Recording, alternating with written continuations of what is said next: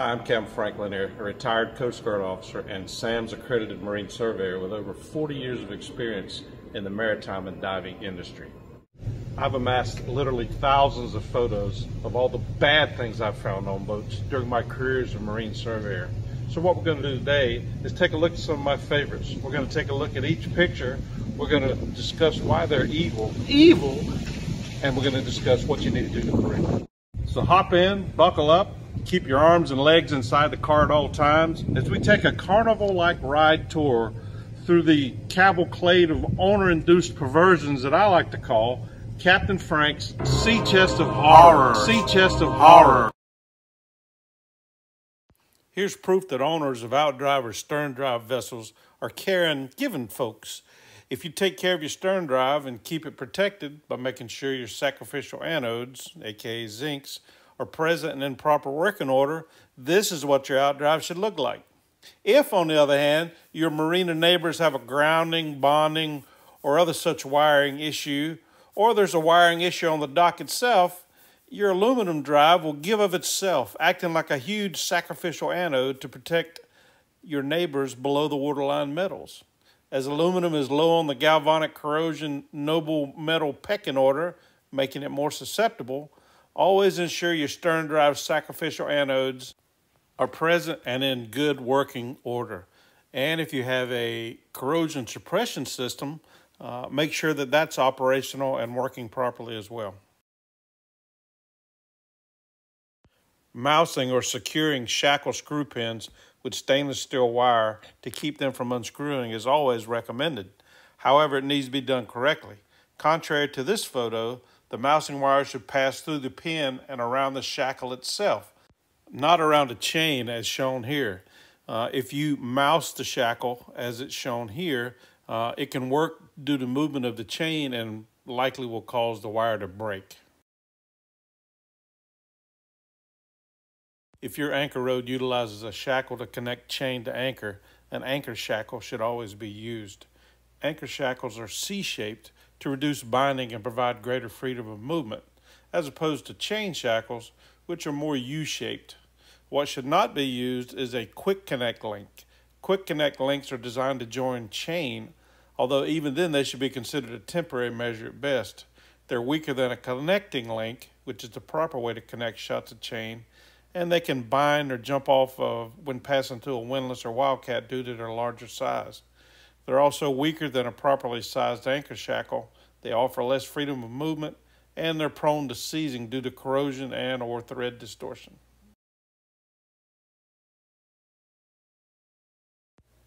the LPG system installation here, and I do use the word installation uh, loosely, uh, fails to meet uh, many industry standards and recommendations regarding LPG system installations. The two we're going to address with regards to this photo would be an improperly secured uh, propane tank or storage tank and lack of a pressure gauge. Propane tanks must be installed in a dedicated propane locker that is vapor proof to the vessel's interior and vents overboard, or be located on the vessel's exterior so that escaping gases can flow directly overboard. The other requirement is an LPG gauge, which allows you to conduct a leak down test to verify there are no leaks in the system. That's the purpose of the gauge in your propane system. It's not there to tell you how much fuel you have, although it will do that, but the main purpose of that gauge is to allow you to conduct a leak down test. Leak down tests are a simple, easy way to check the health of your LPG system and should be done on a regular basis. Uh, to conduct a leak down test, turn on the tank valve and energize the remote solenoid switch if your LPG system has one installed. This pressurizes the system from the tank to the stove. Note the pressure gauge reading and then close the tank valve, leaving the solenoid switch open or in the on position. The gauge reading should remain constant for at least three minutes. If the pressure drops, then you have a leak or leaks which must be found and corrected prior to using the system. Use leak detection fluid or a solution of dishwashing soap and water to find the leaks. You'll typically find them at fittings and connections, although they can occur anywhere in the system due to chafe or physical damage to supply lines or other system components. Do not use solutions containing ammonia uh, which can attack brass fittings. And unless you want top billing at the Darwin Awards website, never use a flame to check for leaks. This is the type of wiring layout that a technician hopes to see when they step on board a boat to do some troubleshooting.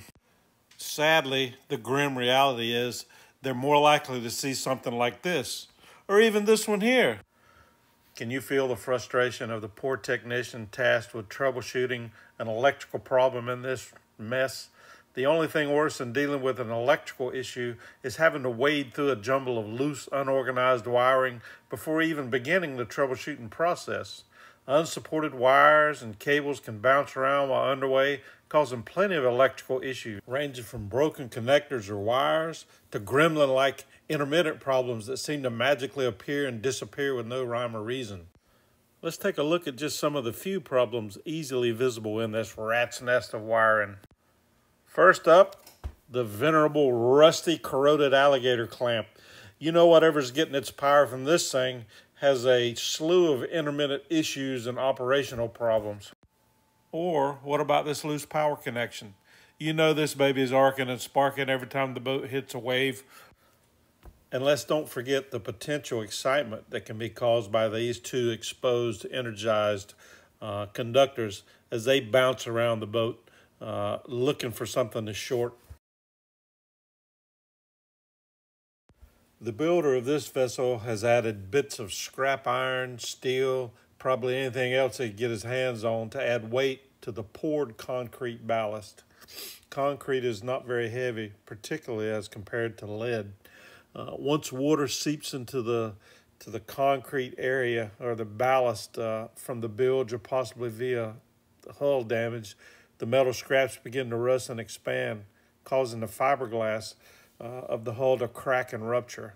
The voids in the concrete indicate where the metal scraps are located. Want to start an argument in most any boatyard? Find a boat where the shaft nuts are in this configuration, thick nut first, thin nut last, and tell the owner or yard manager who installed it that they're backwards. It seems like a no-brainer that the larger nut against the prop would do most of the work, and then the smaller nut should just go on second to kind of hold it in place. In reality, however, it's the smaller nut that should always go against the load because it is the jammed nut, not the jam nut. That's because when the second outer nut is tightened down, it compresses and deforms the inner nut a tiny bit, rotating it a fraction of a turn. This effectively unloads the threads of the first nut and engages the threads of the second nut. Thus, the top or outer nut actually takes all the load. As the larger nut has more thread area and thus more holding power, it's the one you want as the outer nut. I see prop nuts installed backward like this all the time. Is it a critical error? No, because if it was, half the boats in the world wouldn't have props on them.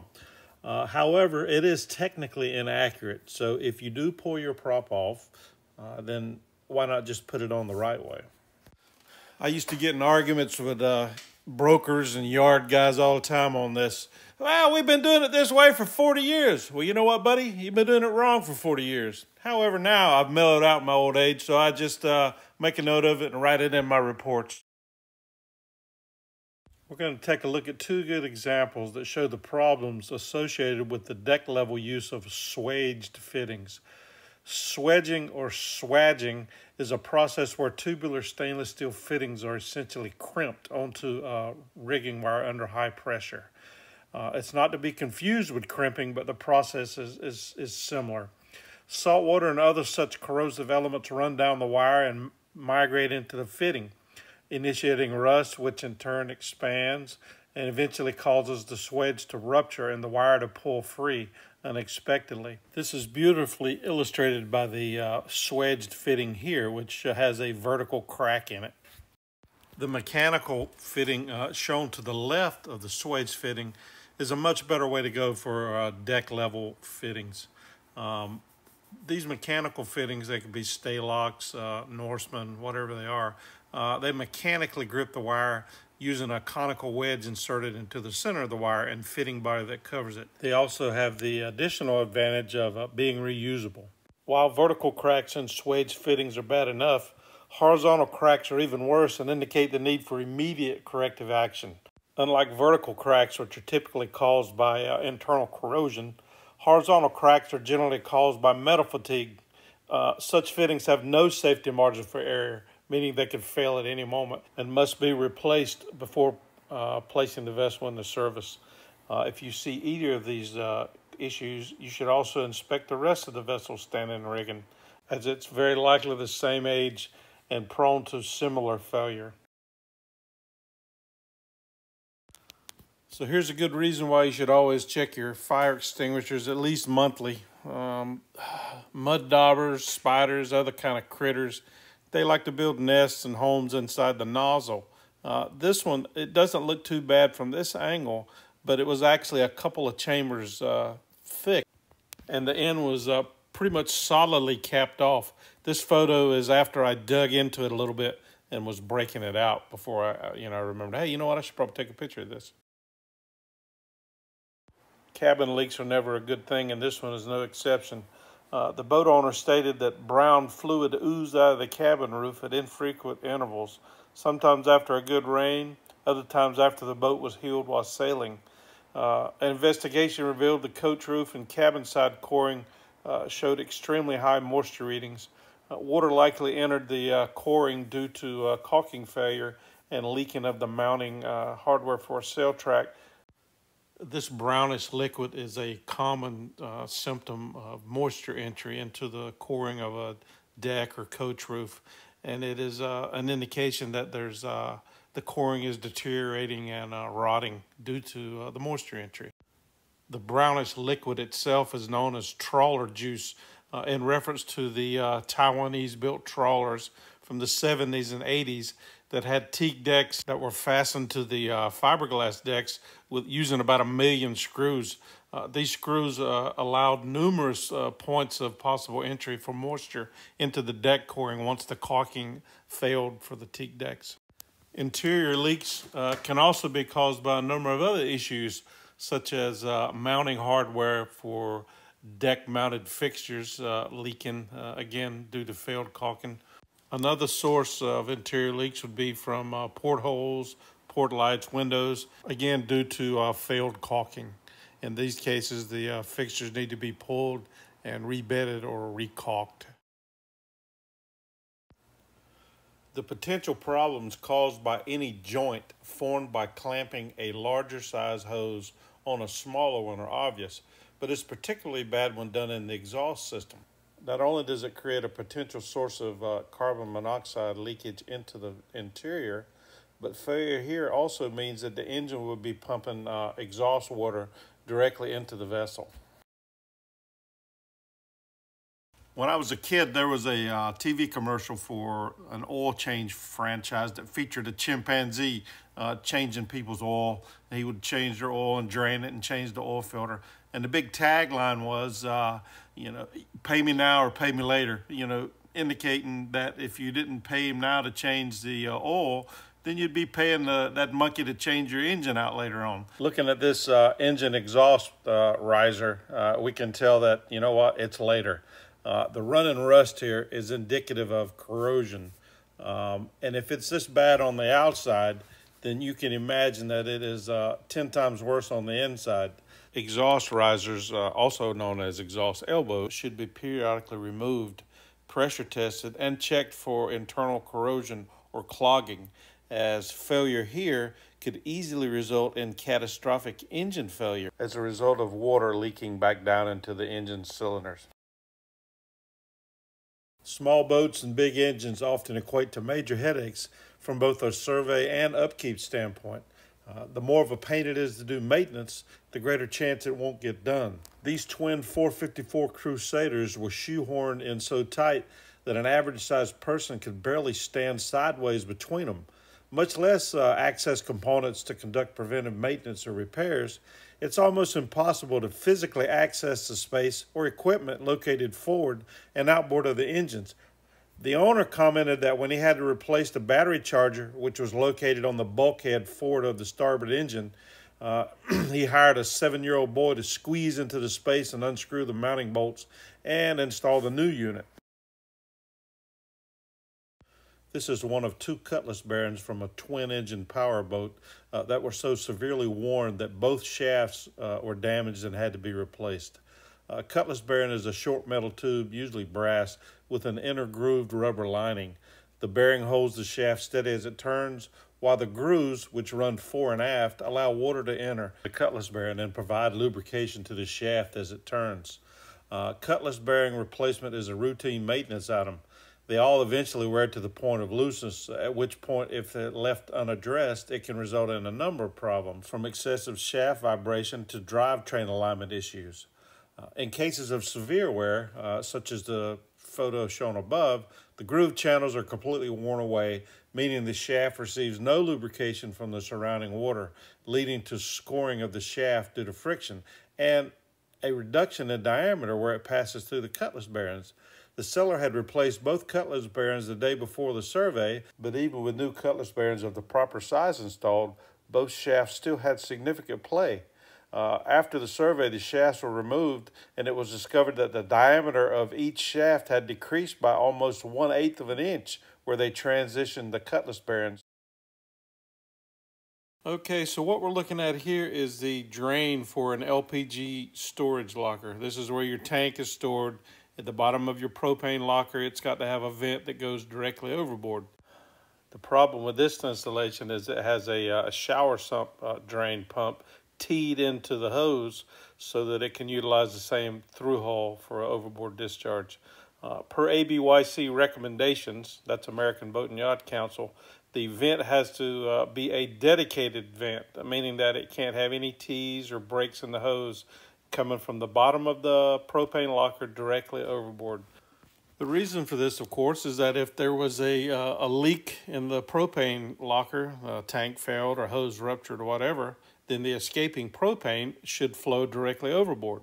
The problem with this installation is that uh, escaping propane rather than flowing overboard, it could flow back into the uh, the hose go into the shower sump pump and flow back into the vessel's interior. Now you've got a bilge filled with uh, propane that could be ignited from a spark from a bilge pump starting or anything along those lines. So what we have here is a Seacock installation that employs uh, two short sections of piping and a 90 degree elbow between the Seacock and the through hull. Problem is, is that this introduces a possible point of failure uh, that is not protected by the Seacock. In other words, if the piping fails or it cracks off, uh, then you have no Seacock there to prevent water from entering the vessel. The Seacock should be mounted directly to the through hull uh, that way you have no additional points of failure uh, that are not protected by the Seacock. Uh, this photo here shows another example of it. Uh, you've got the through hull coming up to a T and then it splits off and now you've got two Seacocks, but neither one of them could prevent water from entering the vessel if, uh, for example, the T-fitting failed at the through hull arm uh, type or flapper type bilge pump float switches must be securely mounted and installed clear of wires, hoses, and other obstructions that can impede operation of the floating arm or flapper switch as it's called. Uh, they should also be oriented with the switch aligned fore and aft and the flapper pointed toward the stern. This is especially important on powerboats. During jackrabbit takeoffs, surging bilge water can damage the flapper mechanism, even ripping it apart in some cases, as shown here. Installing them close to a bulkhead or frame also helps protect the switch from the torrent of water. Uh, enclosed switches eliminate this worry, but can also be more difficult to inspect and test. So the owner of this vessel needed AC power on board, but he didn't want to fuss with any of those frilly add-ons like plugs, breaker panels, and permanent wiring. His solution was to simply take a 30 to 15 amp adapter, cut the end from the three plug extension cord, then tape the wires to the prongs at the 15 amp adapter end. No need for that fancy electrical grade tape either. Uh, while quick and easy, this approach pretty much defies any standard or recommendation uh, regarding AC shore power installations known to man. It goes without saying, but here we go. Uh, this type of MacGyverism, when you're talking about AC shore power, uh, can result in anything from shock hazards, fire, death, pretty much all the bad things an improperly installed AC power system can bring to the table.